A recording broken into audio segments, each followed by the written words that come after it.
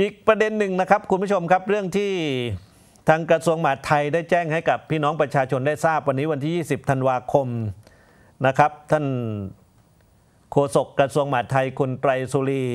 ไตรสรณกุลนะครับ บอกว่าเมื่อวานนี้ 19 ธันวาคม ราชกิจจานุเบกษา เผยแพร่คำสั่งสำนักนายกและกระทรวงมหาดไทย เรื่องห้ามการออกใบอนุญาตให้มีอาวุธปืนติดตัว แบบป 12 เป็นการชั่วคราวระยะเวลา 1 ปี เริ่มมีผลบังคับใช้แล้วตั้งแต่วันนี้นะครับ 20 ธันวาคม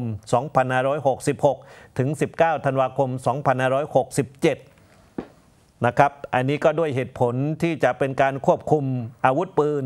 ที่จะพกพาไปในที่สาธารณะที่จะไปก่อเหตุร้ายทำให้เกิดอันตรายต่อชีวิตร่างกายทรัพย์สิน เป็นที่หวาดกลัวของประชาชน ส่งผลกระทบต่อสวัสดิภาพ ในด้านความปลอดภัยและขัดต่อความสงบเรียบร้อยของสังคม นะครับกระทรวงมหาดไทยโดยรองนายกรัฐมนตรีอนุทินนะครับสำนักนายกก็มีการประกาศตรงนี้กันออกมานะครับ มีปืนท่านมีปืนได้ ปืนต้องถูกมีใบอนุญาต แต่เมื่อปืนมีใบอนุญาตแล้วท่านจะพกพาอาวุธปืนไปในบ้านในเมืองในทางสาธารณะนั้นไม่ได้ เขาจะไม่บอกออกใบป 12 ให้ออกไปพกติดตัวไปได้ ยกเว้นว่าผู้ที่มีหน้าที่ที่ได้รับการ อนุญาตเท่านั้น อย่างเช่นเจ้าหน้าที่รัฐอย่างนี้ครับ หรือผู้ช่วยงานของเจ้าหน้าที่ของรัฐอย่างนี้เป็นต้นนะครับ อันนี้เรื่องของอาวุธปืนครับคุณผู้ชมครับ